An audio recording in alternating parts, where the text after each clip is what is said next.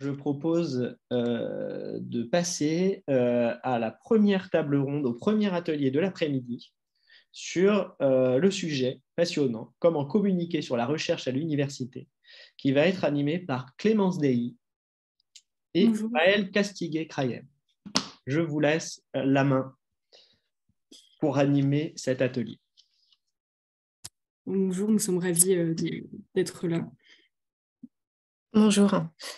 Euh, alors tout d'abord, on tient à remercier euh, David Even, euh, Simon Nataf et Laura Moscarelli pour leur, leur, présence et le temps qu'ils nous accordent. Donc pour ce sujet, comment communiquer sur la recherche à l'université On s'est posé la question, Clémence et moi, de quels outils et quels enjeux sont mis en place par les communicants. donc l'information autour des hum, recherches scientifiques ou des problèmes soulevés par des recherches est rapporté de manière variable selon le relais de l'information, que ce soit les médias, les réseaux sociaux, les institutions ou encore les chercheurs. Ces multiples relais ont un impact sur la compréhension et l'interprétation de l'information. L'objectif de la communication au sein de l'université n'est pas forcément de vulgariser la communication scientifique à proprement parler, mais de garder un certain niveau de référence et d'excellence dans le domaine intellectuel. Ce type d'institutions telles que les universités ouvre le dialogue entre euh, les sachants et les non-sachants.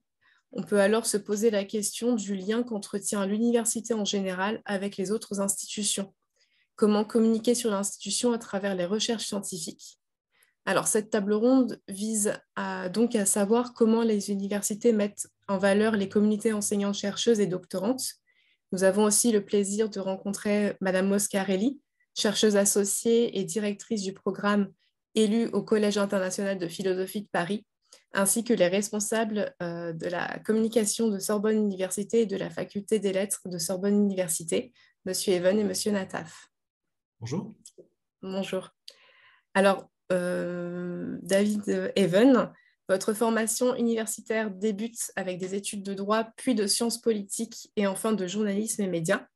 Vous commencez votre parcours dans le journalisme avec une première expérience en tant que rédacteur en chef adjoint chez La Gazette de Berlin, qui est un journal francophone à destination des Français en Allemagne. Puis vous travaillez en tant que pigiste pour différents titres de presse nationale, avant de fonder Arrondis Presse dans la perspective de parler des partis autrement, de Paris autrement. Pardon. En 2019, vous rejoignez Sorbonne Université en tant que directeur adjoint de la communication et aujourd'hui, vous êtes directeur de la communication de Sorbonne Université où vous élaborez et mettez en place la stratégie de communication en accord avec la présidence et la direction générale des services. Euh, Simon Nataf, concernant votre parcours académique, vous avez effectué des études de lettres modernes puis un master de communication politique et publique. Votre parcours professionnel s'est directement spécialisé dans la communication institutionnelle de l'enseignement supérieur et de la recherche. Vous avez été chargé de communication pour l'Université Paris-Créteil, la Société 212 degrés et l'Alliance thématique nationale des sciences humaines et sociales. En 2018, l'Institut national des hautes études de la sécurité et de la justice vous a confié le poste de responsable de communication, où vous avez effectué la communication éditoriale, visuelle, digitale et événementielle. Enfin, depuis 2020, vous êtes responsable de la communication de la faculté des lettres de Sorbonne Université. Et aujourd'hui, vous réalisez à la fois la communication interne et externe et avez en charge une équipe de cinq personnes. Pour Madame Moscarelli, euh, vous êtes une ancienne étudiante du Master Conseil éditorial. Vous êtes également docteur en philosophie de l'Université Paris 8 Saint-Denis et de l'Université de Naples Federico II avec une thèse intitulée Les philosophies de Protagora et d'Antiphon, l'actualité politique d'un héritage manqué. Vous êtes autrice euh, de deux monographies et de plusieurs chapitres d'ouvrages collectifs et de traductions. Vous avez enseigné à Paris 13 et à Aix-Marseille Université. À côté de votre activité de chercheuse en histoire de la philosophie ancienne et en philosophie politique, vous avez occupé différents postes dans la communication. Vous avez été, euh, par exemple, responsable de la coordination et de la promotion de la recherche au CNRS, vous avez effectué la coordination et la promotion d'un laboratoire d'excellence. Actuellement, vous êtes chercheuse associée et directrice de programme élu au Collège international de philosophie de Paris. Le titre euh, du programme est Défendre Hélène, enquête sur les dispositifs de l'altérité dans la Grèce antique et sur les usages actuels de l'ancien. Je vais désormais passer la parole à ma collègue euh, Clémence Dely. Alors, nous allons désormais passer euh, aux questions que nous avons pour les différents intervenants. Euh, donc, tout d'abord, Monsieur Even, comment valorise-t-on la science dans une grande université telle que Sorbonne Université? Merci beaucoup. Bonjour à toutes et à tous. vous avez dit que Sorbonne Université est une grande université et grande aussi par le nombre tout simplement d'enseignantes chercheuses et enseignants chercheurs qui la composent. Et la, difficulté majeure, c'est justement de réussir à parler d'un maximum de choses sans au final donner l'impression qu'on ne parle de rien. C'est souvent le risque majeur quand on veut parler de tout le monde. Au final, on n'a rien qui, euh, qui surnage d'une certaine manière.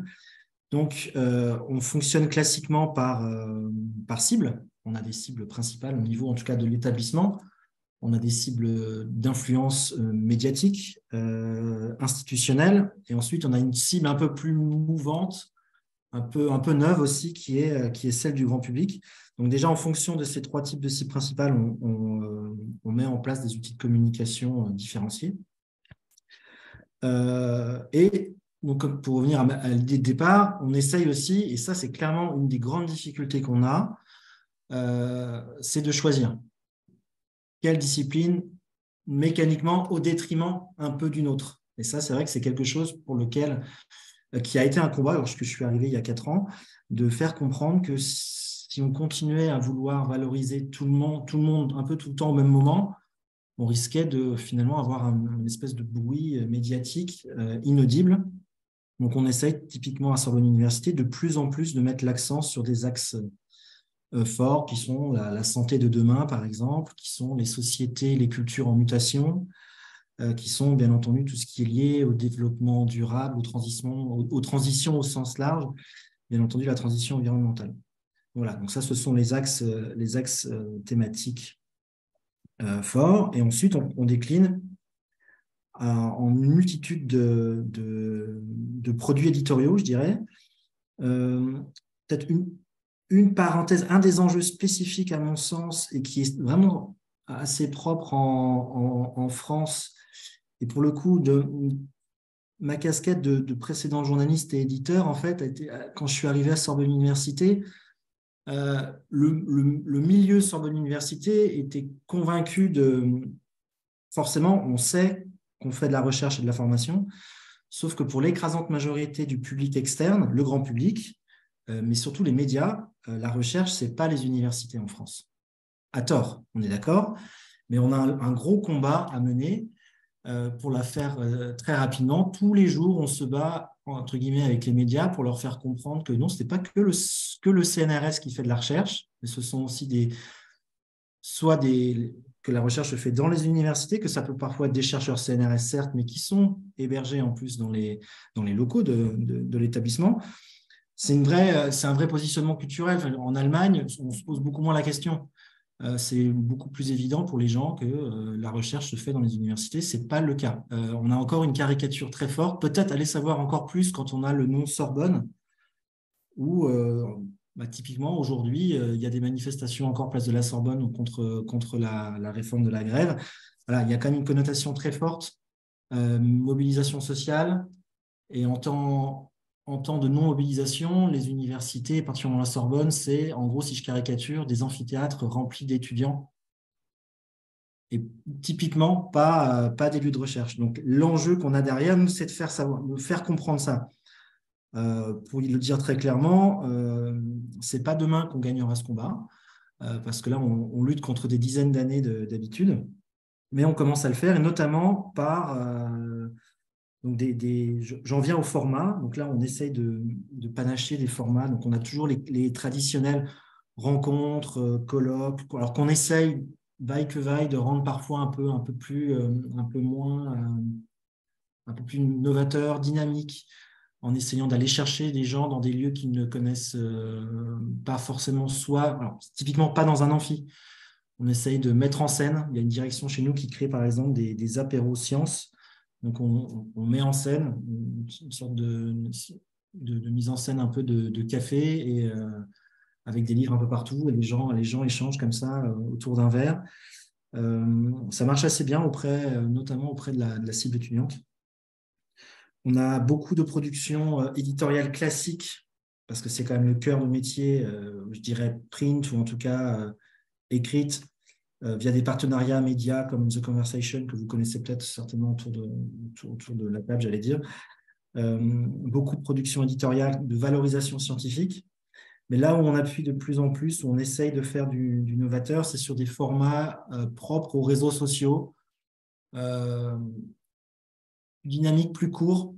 Donc on a notamment, alors malheureusement, je crois qu'on ne peut pas partager l'écran, mais on a créé il y a maintenant deux ans, juste, juste au sortir de la, de la pandémie, enfin des, premiers confinements, une série qui, qui s'appelle Comment je vais changer le monde, où on donne la parole en deux minutes, deux minutes trente maximum à, un, chercheur ou une chercheuse de, Sorbonne Université pour présenter euh, un peu à l'image de ma thèse en 180 secondes, finalement, vous connaissez peut-être aussi pour les, pour les doctorantes et doctorants, de présenter leur manière, euh, de quelle, dans quelle mesure leur travail de recherche va changer le monde.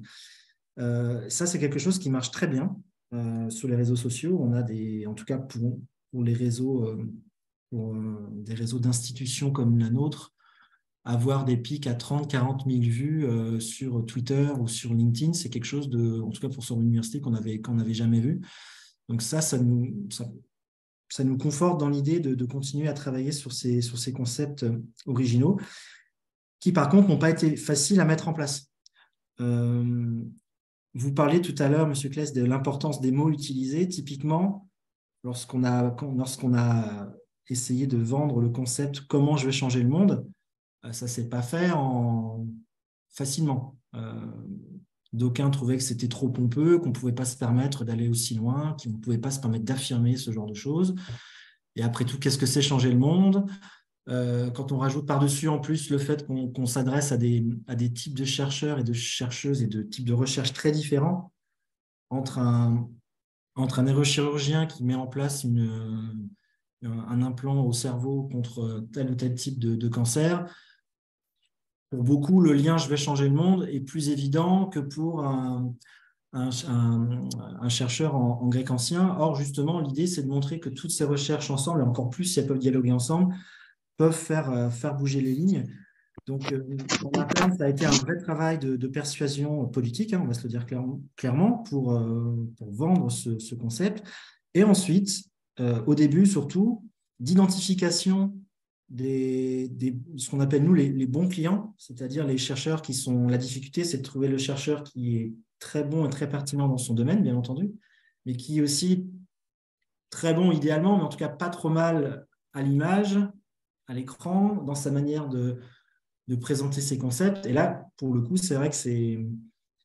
Encore une autre, une autre paire de manches. On, a, on est, on est d'ailleurs en train de travailler en, en coulisses un, travail assez massif, un programme assez massif de formation au média training pour un maximum d'enseignantes et d'enseignants-chercheurs, pour là aussi casser certains freins, certaines barrières qui peuvent, euh, peuvent détourner certains de...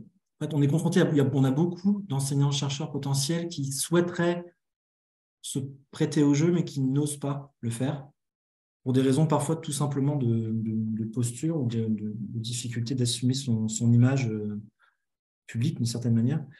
Donc euh, voilà, ça c'est aussi l'un des enjeux pour nous au, quotidien. Je pense que j'ai déjà fait un peu le tour. Je ne vais peut-être pas monopoliser plus la parole pour cette première question.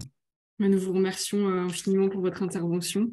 Nous allons passer à la deuxième question. Monsieur Nataf, comment la faculté des lettres de Sorbonne Université met en avant euh, les communautés enseignantes-chercheuses, doctorantes ou encore les écoles doctorales?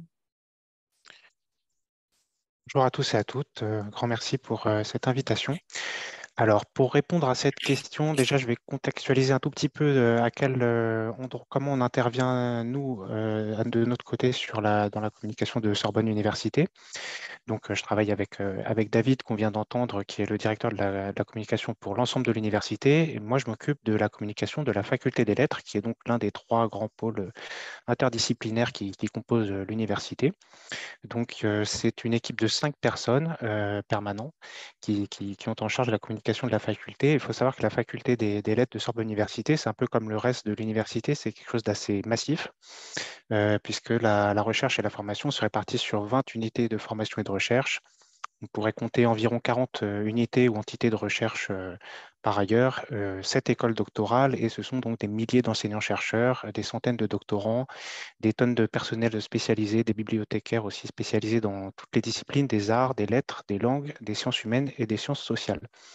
Donc c'est ce prisme interdisciplinaire que, que, nous avons et qui nous permet à nous de mettre en place une communication déjà un peu sectorisée sur ce côté-là, justement en, différentes à part de, la neurologie et d'autres sujets qui sont là. C'est l'université qui porte les, sujets de façon plus euh, transversale et globale sur l'ensemble des, secteurs euh, scientifiques.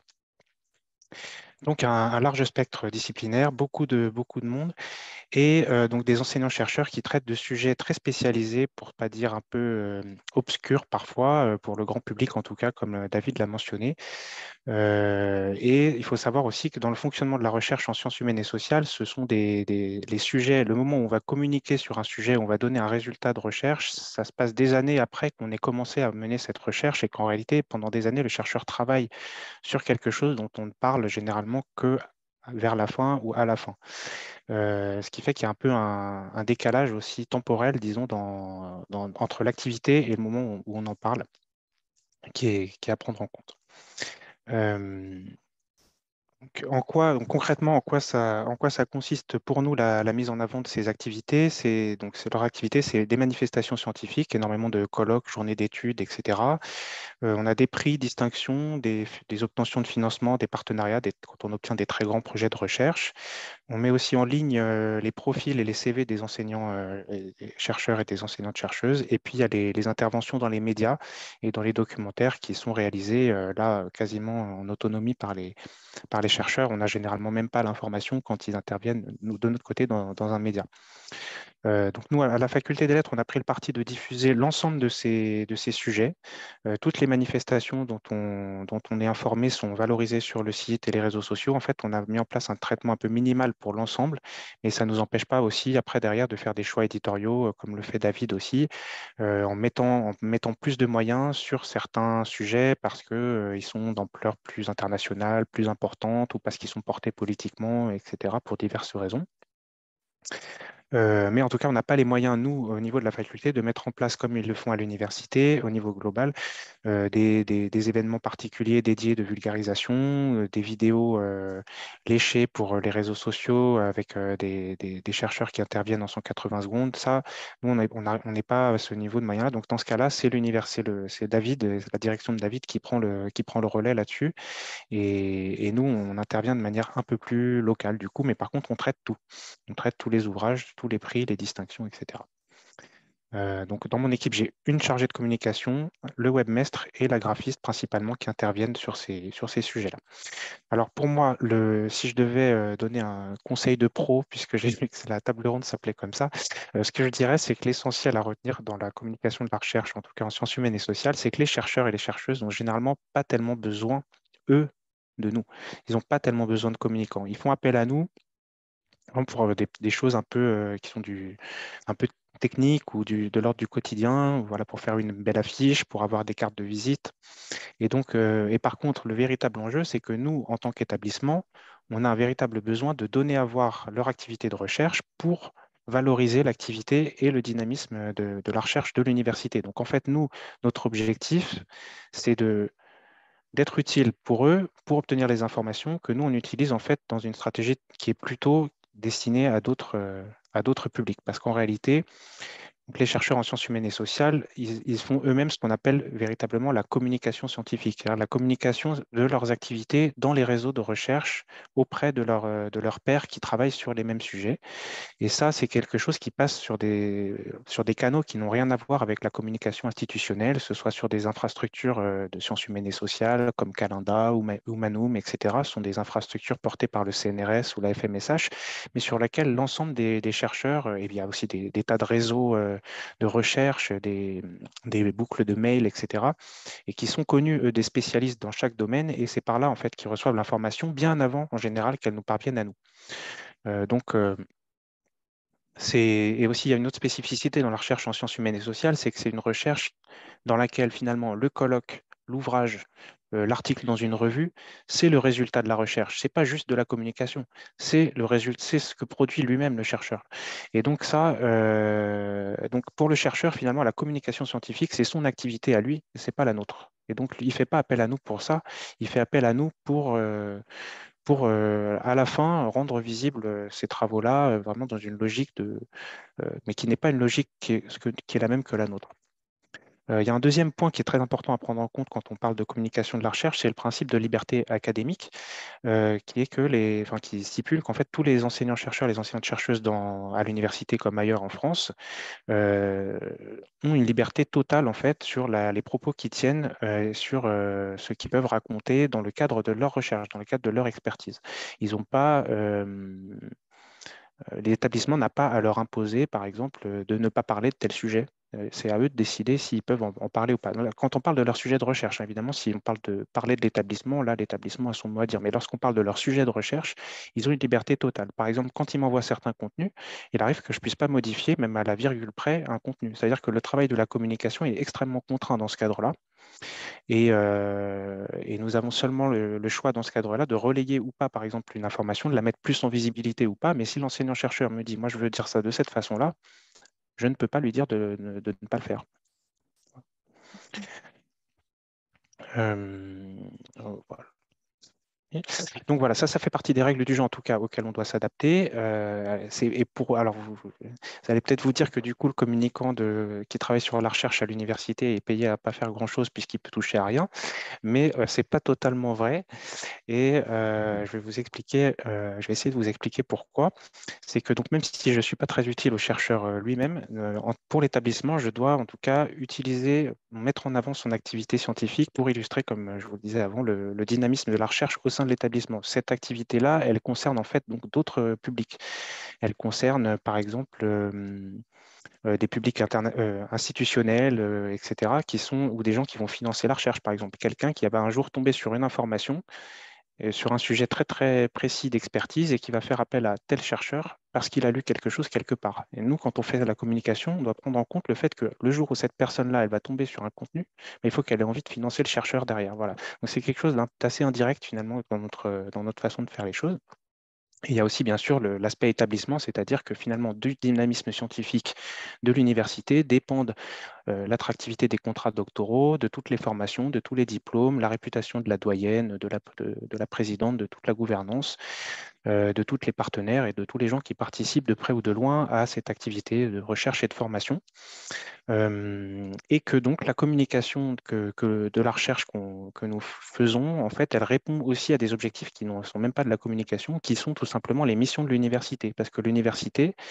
dans ses missions qui sont stipulées par le Code de l'éducation, doit diffuser, par exemple, la culture et l'information scientifique et technique. On est obligé de le faire. Enfin, ça fait partie de ce qu'on doit faire. Ça dépasse le cadre de la communication, mais à travers ce que nous, nous mettons en ligne, nous participons effectivement à cette diffusion de la culture et euh, de l'information scientifique et technique. Donc ça, on doit le prendre en compte aussi en tant que communicant, même si ce n'est pas, euh, ça ne rentre pas nous dans nos enjeux et dans, ce qu'on va nous chercher à, faire, mais on doit euh, prendre conscience aussi de ce, de ce rôle-là. Ce qui fait que, donc, en termes d'évaluation, donc là, ça rejoint un peu ce que disait Sébastien tout à l'heure euh, euh, en, introduction avant la table ronde, c'est que l'évaluation d'une action de communication dans ce périmètre, en termes de mesure de son efficacité, c'est très très compliqué parce que euh, le fait qu'on fasse, par exemple, les tweets qu'on fait sur des sujets de recherche très précis ne marche pas très bien mais on ne s'attend pas vraiment à ce qui marche. Ce n'est pas forcément un problème. ce que je veux dire, c'est que par exemple, pour moi, un indicateur d'évaluation pertinent sur une communication qu'on a fait sur la recherche, ce serait de voir, par exemple, si derrière les chercheurs concernés, l'unité de recherche concernée a obtenu des financements dans les années qui suivent. Beaucoup plus que de savoir si le tweet a obtenu des réactions, par exemple. Et donc ça aussi, c'est quelque chose de très particulier, je pense, qui est spécifique vraiment à la, communication de la recherche à l'université. Donc notre rôle finalement, il est celui-là, il est de répondre à ces, enjeux-là et avec un rôle d'amplification et de contextualisation de tout un travail qui est fait par d'autres personnes, donc les enseignants-chercheurs eux-mêmes, et puis aussi un élément dont je n'ai pas encore pas vraiment parlé, qu'on a un peu abordé avec David, mais d'assez loin, c'est que donc à l'université, la recherche, en réalité, elle est portée par ces laboratoires, par ces unités de recherche. Et c'est dans ces unités de recherche, donc, qui sont effectivement euh, parfois en collaboration avec le CNRS ou avec d'autres organismes. Ce sont ces unités de recherche qui agissent de façon autonome, qui ont souvent leur propre site Internet et qui assurent cette communication aussi. Donc on a là un rôle aussi indirect de dialogue avec ces, ces, ces entités-là et de, de, conseils un peu, mais, d'assez loin finalement, parce qu'elles sont autonomes, là encore, sur leur, leur information, etc. Et là aussi, c'est un, un, jeu d'essayer de récupérer cette information pour montrer que l'établissement participe aussi à travers ces, entités-là euh, qui se présentent comme étant quasiment indépendantes à part de l'université, euh, qu'en fait, non, non, c'est bien l'université qui porte, euh, qui porte ces actions. Voilà, euh, donc bah, vous avez retenu l'essentiel, je pense, qui est que ben, le chercheur n'a pas trop besoin de, de communicants, le communicant a besoin des chercheurs, et donc nous avons l'enjeu principal, c'est de les séduire et de les amener à une culture un peu de la communication, leur faire comprendre qu'on est utile, leur donner du sens à une action de communication institutionnelle pour qu'ils y participent et que finalement chacun, euh, comment dire, que chacun euh, y retrouve y trouve un intérêt, le chercheur comme l'établissement. Super, je vous remercie pour euh, cette intervention. Euh, du coup, nous allons passer à la troisième question avec Madame Moscarelli. Euh, comment le Collège international de philosophie de Paris appréhende les défis éthiques et politiques qui font débat actuellement? Bonjour à toutes et à tous. merci pour l'invitation à intervenir. Euh, c'est une question plus théorique euh, et politique, institutionnelle pour ainsi dire. Donc, ça va être plus la chercheuse et philosophe que je suis à répondre. J'espère que vous m'excuserez. Euh, ma réponse va être un petit peu plus théorique.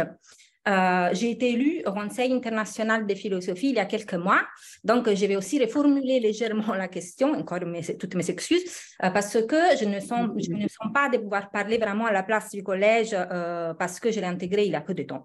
Donc, plutôt que de, de, de, de parler sur comment le Collège international de philosophie de Paris appréhende les défis actuels, je vais me concentrer sur comment des institutions alternatives comme le Collège euh, international de Paris peut aider l'université, donc l'institution universitaire, mais aussi les autres instituts de recherche évidemment, euh, à appréhender les défis actuels.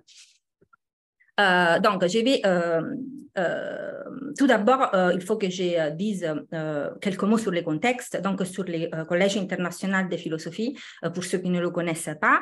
le CIPH est une institution qui a été fondée en 1983 par des philosophes, dont Jacques Derrida et François Châtelet. C'est une institution pas comme les autres, disait Jacques Derrida, donc c'est pour ça que je me permets de dire alternative, est un lieu original d'élaboration, de transmission et d'intervention ouvert à tous. Donc, il suit, donc les collèges, il suit les modèles anglo-saxons des universités ouvertes ou bien ou même des universités populaires.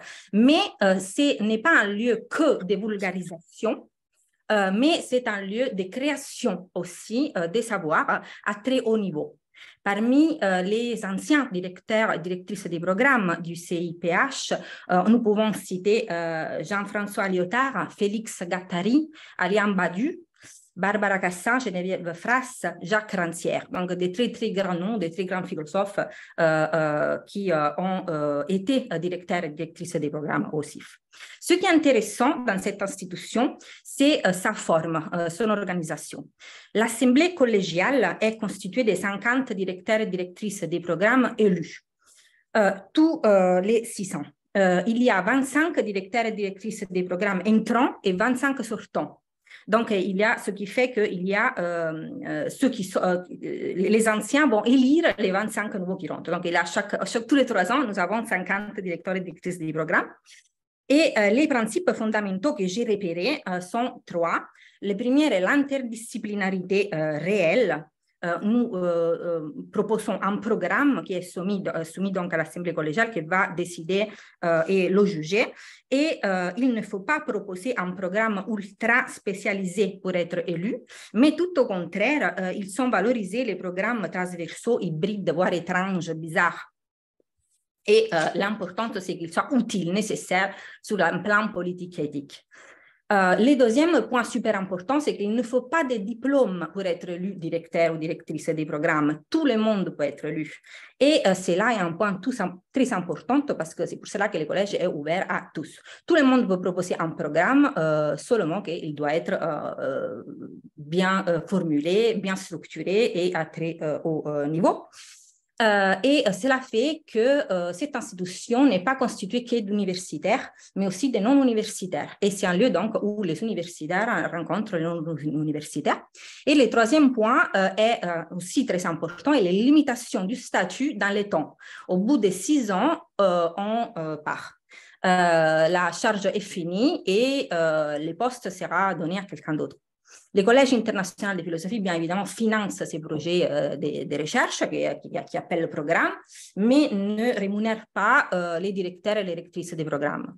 Euh, donc, il n'y a pas de rémunération et cela fait aussi une très grande différence. Alors, en quoi le Collège international de philosophie peut-il aider l'université à appréhender les défis actuels de la société Voici mon idée. Euh, l'université, euh, je parle surtout des sciences humaines et sociales, hein, bien, bien évidemment, parce que euh, dans les cas des disciplines autres, les sciences dures et tout, peut-être que ça vaut aussi, mais je ne connais pas, je connais mal. Donc, je parle de ce que je connais. L'université en sciences humaines et sociales manque parfois des trois éléments euh, j'ai ma critique, c'est une autocritique parce que je suis universitaire, je suis amie euh, des universitaires et euh, donc c'est une critique interne et constructive. Bien évidemment, l'université, il faut la défendre avec toutes nos, énergies.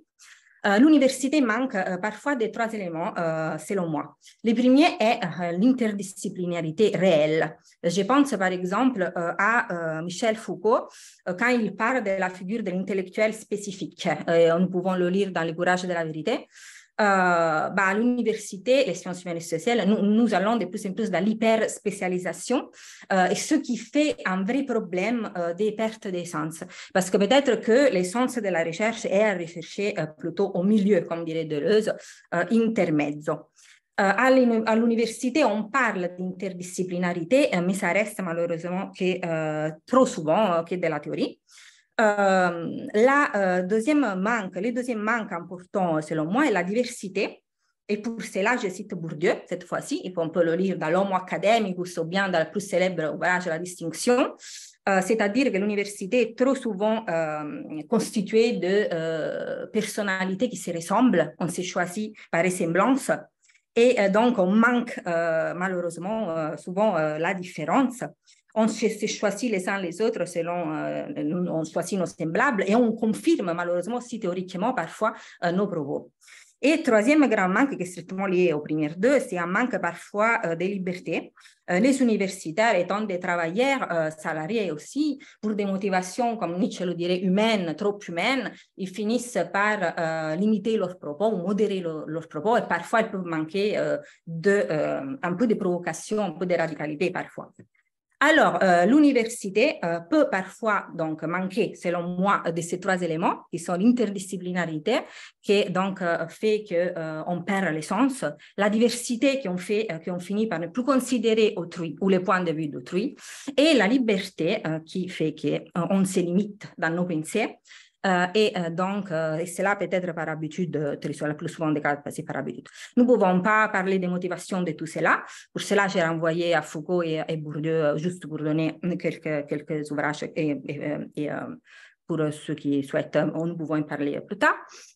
donc, or, l'existence de ces lieux, comme par exemple, entre autres, le Collège international de philosophie, fait que euh, peut euh, contribuer à, euh, combler quelque part ces manques parce que les universitaires peuvent s'y rendre et peuvent participer activement aussi, échanger avec des personnalités différentes, des personnalités autres, issues d'autres disciplines et surtout des non-universitaires et donc plus libres. Donc, ils sont plus parfois dans la provocation et dans la radicalité pour Cava. Euh, ce colloque dont euh, je, participe aujourd'hui est un lieu de véritable interdisciplinarité, en effet.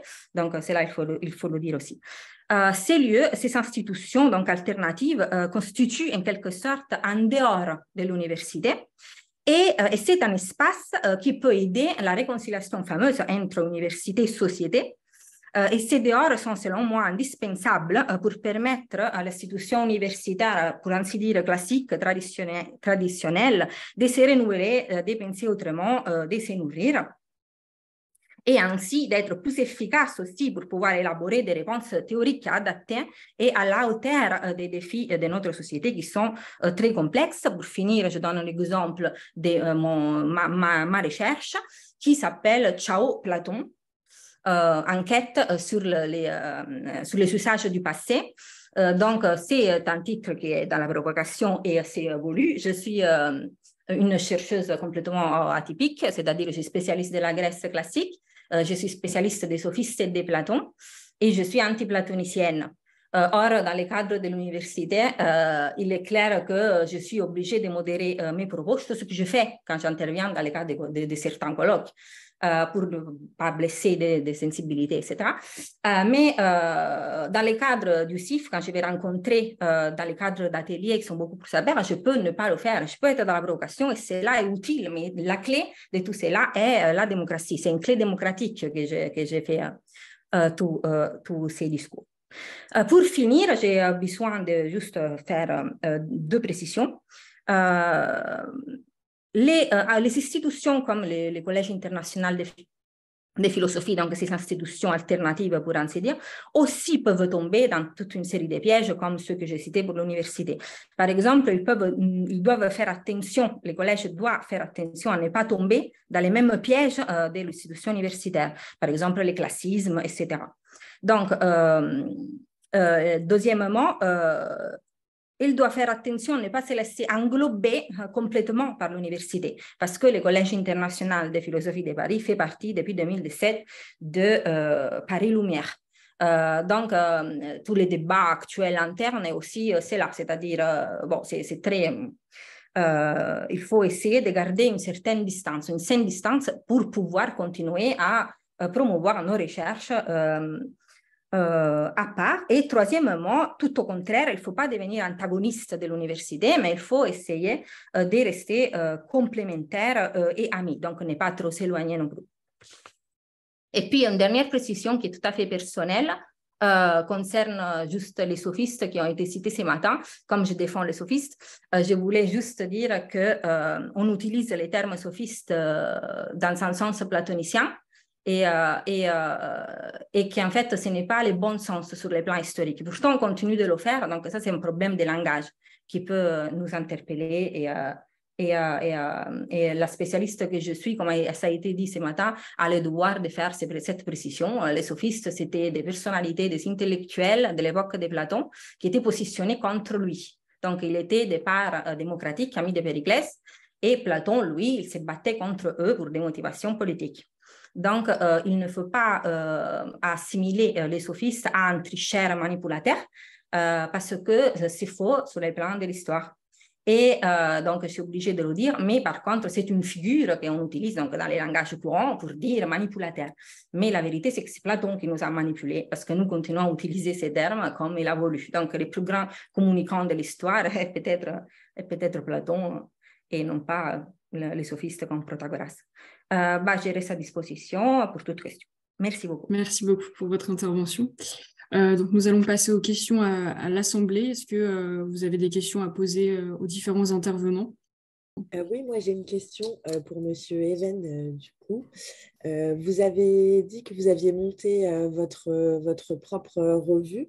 Et en fait, qu'est-ce qui vous a amené de passer de entrepreneur euh, dans le secteur de la communication à euh, directeur de la communication pour une institution Qu'est-ce qui vous a fait passer, entre guillemets, du privé au public euh? Les joyeuses incertitudes de la vie. alors moi, j'étais j'étais vraiment, j'étais éditeur de, presse magazine. C'était pas de la communication, hein, c'était vraiment du journalisme. Au contraire, à l'époque, les communiqués de presse qu'on recevait, d'ailleurs, c'est assez drôle. Euh, on, avait quasiment pour euh, consigne, en tout cas c'est la consigne que je donnais à mes journalistes, de quasiment jeter à la poubelle automatiquement les communiqués de presse quand ils les recevaient, pour les forcer à aller eux-mêmes chercher l'information, aller sur le terrain. Et maintenant, c'est moi qui envoie les communiqués de presse, comme quoi les, choses peuvent changer. Euh, non, c'est principalement mon aventure éditoriale, enfin entrepreneuriale s'est arrêtée. et je me suis tourné vers une communication qui avait du sens pour le coup. Pour le dire clairement, je ne me sentais pas du tout d'être communicant pour une banque, pour ce type d'activité. en rentrant à l'université, il y avait cette notion, bien entendu, de service public, mais surtout de valorisation scientifique qui me, parlait, qui me parlait beaucoup. Alors, je vais relayer euh, une autre question. Merci à vous. Alors, Laurent, vous, dites, euh, voilà, pour Monsieur Evan et Nataf, quels sont les enjeux de votre travail face aux défis actuels de votre université? Euh, Les défis actuels, c'est-à-dire Oui, c'est ça. C'était ce que je précisais juste ce que vous entendez par défis actuels de l'université. Le rôle de l'université. Le rôle de l'université euh, Simon, je commence rapidement si tu veux. C'est un peu ce que je disais tout à l'heure. Pour moi, l'un des enjeux, c'est de montrer euh, à la société française, parce qu'on a ce rôle de, mettre en relation la science et la société, l'université et la société, c'est de montrer qu'on n'est pas uniquement là pour former euh, des étudiants dans des amphithéâtres, on est aussi là pour créer de la connaissance. donc l'un des enjeux, c'est d'exister dans un écosystème très riche, avec des médias notamment, puisque c'est un vecteur principal des médias qui ont pour habitude d'aller chercher l'information ailleurs. Et aussi, au-delà même de la science, euh, nous, au niveau universitaire, au niveau de direction de communication de l'université, on travaille aussi beaucoup sur tout ce qui est lobbying institutionnel. Et par exemple, on se rend compte que les lieux de pouvoir en France, euh, Élysée, tous les ministères, sont euh, occupés par des personnes, pour beaucoup, qui ont fait les grandes écoles, qui ont fait HEC, Polytechnique, euh, l'ENA, bien entendu, et finalement assez peu, entre guillemets, hein, euh, d'universitaires. Et euh, donc, on peine aussi à exister en fait dans ces milieux-là parce que ce sont des milieux, c'est un petit monde, hein, tout le monde se connaît. Les réseaux alumni sont très puissants dans les grandes écoles et, sont tout nouveaux à Sorbonne Université. Le réseau alumni a commencé à être monté il y a trois ans à Sorbonne Université. Donc, c'est un travail qui est vraiment, qui est vraiment naissant. Donc, l'un des enjeux, c'est aussi voilà, tout simplement d'exister. Et typiquement, par rapport au Covid aussi, euh, l'un des enjeux, c'est de faire en sorte que dans 10, 15, 20 ans, lorsque un, président de la République ou une présidente de la République mettra en place un comité scientifique, ce soit aussi avec des universitaires et pas uniquement avec des, euh, des personnes qui, en fait, ne sont pas réellement des chercheurs d'université. Si je peux juste ajouter quelque chose, enfin, dans le cadre des enjeux actuels de l'université, c'est vrai qu'il y a eu ces dernières années une, une internationalisation en fait de la, de, la, concurrence, on peut, de, la, compétition, on peut dire, et on a même ce mot est, véritablement apparu il y a une dizaine, une quinzaine d'années dans les universités, de compétition entre les universités. Et cette compétition, elle est de plus en plus rude, elle est dans le monde entier, avec des classements euh, d'universités aussi, etc. Donc là, ce n'est pas tellement sur les, forcément sur les enjeux de la recherche, mais de manière générale, les universités, par rapport à ça, effectivement, on est en, il y a un changement de périmètre de, ce qu'on fait par rapport à ça, tout cas ces dernières années. Et pour le coup, je rebondis, Simon, c'est intéressant. Euh, tu parlais des classements. Les classements Shanghai, notamment, ça, a été imposé hein, finalement euh, aux universités. Donc maintenant, on est tous un peu obligés d'exister là-dedans. Donc aux alentours du 15 août, tout le monde euh, y va de sa petite communication, sauf que là, on est face à un dilemme à Sorbonne Université où on pousse de plus en plus politiquement, mais réellement dans les faits, la, la, science ouverte la publication euh, ouverte des, données de la recherche. Et donc, on est très vite confronté à un problème. Comment exister dans les classements internationaux tout en poussant la science en verte, c'est-à-dire on se détourne des publications internationales? Enfin, vous voyez, c'est un, un, dilemme qui, pour le coup, dépasse largement la communication, mais qui est un vrai problème de communicant. Et on a aussi une autre question de Laurent. Euh, au vu des moyens alloués, comment continuer à exister? Joker. David, je te laisse cette question. On parlait tout. Oui, alors par exemple, donc les moyens, si on, si on parle juste de la communication, ce qui le prendre par le petit bout de la lorgnette, mais c'est quand même révélateur. Sorbonne Université, on a un budget qui est à peu près 15 fois moins que celui du CNRS Île-de-France, juste sur la communication scientifique. Donc, par définition, on peut faire beaucoup moins. Et ça, bien entendu, après, sur l'ensemble des moyens alloués pour l'ensemble de l'établissement, là aussi, j'ai envie de sortir malheureusement la, la carte Joker, si ce n'est qu'il faut du temps. Euh, il faut continuer à avancer sur plusieurs tableaux. On a quand même, a une carte à jouer. Euh, ce matin, on était en réunion sur l'université des enfants. il y a tout un, à mon avis, ce, genre de choses, être vraiment au contact euh, quotidien de la société. À mon avis, ça, c'est quelque chose qu'on peut faire, que l'université peut, peut faire à moindre coût pour le coup, si je peux me permettre. on a des événements qui marchent très bien, comme la fête de la science, qui sont, peuvent paraître parfois un peu vieillots, qui mériteraient d'ailleurs d'être toilettés peut-être, mais qui, qui font venir à moindre frais aussi 15, 20 000 personnes sur un week-end sur un campus, ce qui n'est pas forcément gagné. Et pour le coup, je ne suis pas sûr qu'une entreprise privée, même à, à de millions, ne, fera jamais venir autant de, autant de monde sur, euh, sur, euh, dans, ces lieux parce que nous, on, voilà, on est quand même. Euh, c'est un lieu de partage, c'est un lieu ouvert. Euh, qui doit le rester. Euh, le campus, pour ceux qui le connaissent, Pierre-Marie Curie est censé être un campus ouvert. Alors malheureusement, avec les, mesures de sécurité liées aux attentats, les barrières se sont peu à peu fermées. Mais l'un des enjeux, justement, d'exister, c'est de, faire en sorte que la société puisse venir, que les gens puissent occuper les lieux pour, euh, pour travailler, pour échanger, pour dialoguer. Ça va bien la communication. Moi, je veux bien prendre le joker, du coup, vu que je travaille euh, au sein de la faculté des lettres et ça fait longtemps que je suis à l'université. Euh, je pense aussi que, euh, comme l'ont dit Simon et David, quand on est à l'université, c'est qu'on a l'intention d'incarner le service public. Et du coup, je pense qu'en fait, le joker, c'est nous, hein. c'est les personnels de Sorbonne Université qui sont toujours partants pour donner de leur personne pour euh, avoir de nouvelles missions, pour euh, accompagner les étudiants et pour justement communiquer sur ce que fait l'université et tous les événements qu'on peut mettre en œuvre. Oui, tout à fait. Et on avait aussi une autre question de Laurent. les meilleures universités américaines sont de taille moyenne. Pourquoi augmenter la taille des françaises? Moi, je ne peux pas répondre à ça. Ouais, c'est pas mon domaine. C'est une question qui dépasse largement la, communication. Hein. Ce n'est pas moi qui ai décidé de fusionner les universités françaises. Euh, après, je ne sais, je sais pas si nos grandes universités françaises, elles, sont de toute façon encore beaucoup plus petites que les grandes universités américaines on a fusionné pour aussi beaucoup pouvoir donner de pluridisciplinarité en fait entre les universités. Aujourd'hui, vous avez la possibilité d'avoir une euh, majeure en lettres, une mineure en biologie, euh, de, créer justement plus d'interdisciplinarité entre toutes euh, les lettres, les sciences et la médecine. Et ça, c'est le gros plus aussi de, la fusion. Pour le coup, ça rebondit un peu sur ce que disait Laura. L'interdisciplinarité, en effet, commence, c'est là aussi le début, on a, des, instituts initiatives pluridisciplinaires qui sont financés sur, euh, donc là typiquement c'est des fonds supplémentaires, IDEX, hein, c'est peut-être un peu technique, mais c'est voilà, c'est des fonds spécifiques là-dessus euh, qui sont créés, donc que ce soit sur les sciences de l'océan, typiquement l'Institut de l'océan, l'idée c'est pas de faire bosser que des océanographes ensemble, mais de faire intervenir des historiens, des géographes, des philosophes, des médecins pour réfléchir ensemble à des thématiques liées à l'océan. Et on a, on a voilà, une vingtaine comme ça d'instituts initiatives sur toutes les thématiques, le genre, la transition environnementale, le quantique, euh, l'intelligence artificielle, euh, les humanités biomédicales, humanités numériques, les, les humanités numériques, pardon, c'est une nouvelle thématique là, qui est en train de monter depuis, depuis quelques semaines. On a eu un premier colloque il y a un mois en faculté des lettres. Voilà, ça, c'est des thématiques sur lesquelles on souhaite s'appuyer. Mais en effet, je, rejoins Laura, c'est le tout début. Hein. Mais c'est l'une de nos, à mon avis, c'est l'une des solutions qui nous permettra de, réussir. J'ai une question, s'il vous plaît. Ça va? Je peux? Oui, oui, allez-y. Euh, j'en profite, je profite de l'occasion, comme on, est à l'université avec des spécialistes. Euh, j'ai vu tout à l'heure euh, un participant qui était d'une association de sciences citoyennes.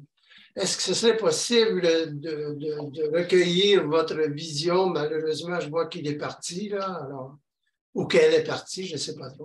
Qu'est-ce que c'est? La, personne qui fait des sciences citoyennes, elle, elle participe à, à, une table ronde très euh, bientôt, l'association Sciences Citoyennes. Donc, vous allez pouvoir lui poser la question directement euh, au moment de la table ronde. C'est à vous que je voudrais aussi poser la question, une science citoyenne, ça existe? Et c'est quoi? Vous, pourrez poser la question à Aude Lapran qui, qui, pourra, euh, qui pourra vous répondre puisque euh, c'est le nom de son association. Je pense que. C'est à vous que je pose la question. Euh, oui, mais moi je pense que Aude Lapran sera mieux placé pour, pour vous répondre. Moi, la question que j'aimerais poser, c'est à Laura Moscarelli. parce que finalement, Laura tu nous as parlé de ton activité de chercheuse, de ta manière dont tu voyais la recherche et notamment l'interdisciplinarité. Moi, j'ai trouvé que c'était intéressant parce que finalement, ça montre que l'interdisciplinarité, c'est un moyen de communication au sens de rencontre finalement entre des chercheurs de disciplines euh, différentes et que euh, on avance dans la recherche grâce à ces rencontres, grâce à ces communications entre disciplines.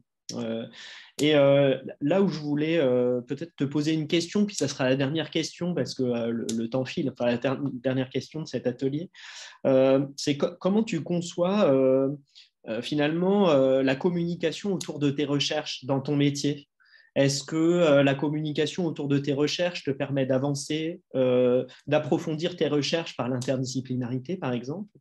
Est-ce que euh, c'est une manière de te rendre visible dans le champ de la recherche? Tu parlais, par exemple, de la communauté des, platoniciens qui pourraient prendre ombrage de tes positions plutôt favorables aux sophistes. Euh, voilà, comment tu conçois cette activité euh, de communication toi, dans, ton, bah, dans ta sphère en tant que, en tant que chercheuse? Qu'est-ce que ça signifie pour toi? Ou bien est-ce que tu considères que la communication n'a pas d'importance? Enfin, voilà, c'est une question très ouverte. Alors, moi, euh, je me suis rappelé que les mémoires des, femmes d'études du, du, master conseil éditorial, en 2012, je l'avais passé, euh, c'était sur les sophistes et la communication. C'est-à-dire que je me suis intéressée à ce sujet. Les sophistes, c'est les grands maîtres de la parole de la Grèce. Euh, c'était euh, des rhétors, des orateurs. Et en fait, je disais, déjà dans ces mémoires, qu'après j'ai repris dans le cas de ma thèse, j'ai développé amplement, euh, euh, me disais, c'est eux qui ont raison, c'est eux qui sont les communicants, c'est eux qui mettent en valeur euh, donc la parole. Alors que Platon, tout le monde connaît le mythe de la caverne de Platon, l'allégorie de la caverne pour la vérité. Eh bien, euh, il y a, pour aller très vite, cet homme qui est emprisonné au fond de la caverne et au final, il arrive à se libérer. Après, il revient voir ceux qui sont emprisonnés au fond. Et il prétend euh, l'adhésion des gens qui sont emprisonnés. Et Platon, avec tout son art oratoire, tout son art poétique, il nous met euh, du côté de l'homme question. Mais pourquoi on devrait le croire? En fait, la vérité, c'est qu'il n'a qu'à parler. C'est la seule solution qu'il a. Protagoras, le grand sophiste ennemi de Platon, c'est ce qui répondrait. Il dirait, bah, toi, homme, à la place de faire la victime ou de prétendre euh, euh, raison parce que tu possèdes la vérité, parce que tu l'as vu en dehors, parle nous, les hommes, c'est la seule chose que nous pouvons faire, c'est de parler. C'est une intuition que j'avais eue quand j'étais toute jeune. C'est pour ça que j'ai valorisé la pensée des sophistes. Puis j'ai découvert, euh, historiquement parlant, que les sophistes étaient euh, strictement liés à une vision de type démocratique et que Platon, pour de nombreux, nombreux philosophes, est considéré comme un grand conservateur antidémocratique. Donc, en vérité, il y a un lien très important entre la rhétorique, la valorisation de la parole, le relativisme, qui est un gros mot en philosophie, mais le relativisme, celui qui est démocratique et constructiviste, et, euh, et, euh, et, la démocratie. Et donc, c'est pour cela que moi, je m'intéresse des communications et je m'intéresse des philosophies euh, et notamment des rhétoriques. Voilà, les liens pour moi, c'est très théorique, je suis désolée. non, mais ça me paraît très clair, très intéressant. Merci, merci beaucoup de votre participation. On va clore la, la table ronde. Merci à David Even, merci à Simon Nataf, Merci, Laura Moscarelli. Effectivement, avoir un point de vue un peu plus euh, théorique et de chercheur, ben, c'est passionnant. Puis c'est bien de, justement d'avoir cette interdisciplinarité entre euh, euh, des praticiens, des théoriciens, mais sachant que les théoriciens sont toujours praticiens et les praticiens toujours un peu théoriciens quand on réfléchit sur son métier. Donc voilà, c'est ce qui me semble intéressant et riche aujourd'hui. Donc vous aviez l'air de vous excuser de faire de la théorie, mais non, il ne faut pas. Voilà. Et de la même façon, voilà, donc c'est très bien, merci. Euh, je vais laisser la parole euh, à la table ronde euh, suivante. Comment créer un espace de débat sur les sciences animé par Anaël Vallée et Julie Poncin. Et c'est là notamment que Aude Pro interviendra pour sciences citoyennes. Notamment, hein, enfin voilà, c'était pour faire le lien avec la question précédente. donc je laisse la parole à Anaël et Julie.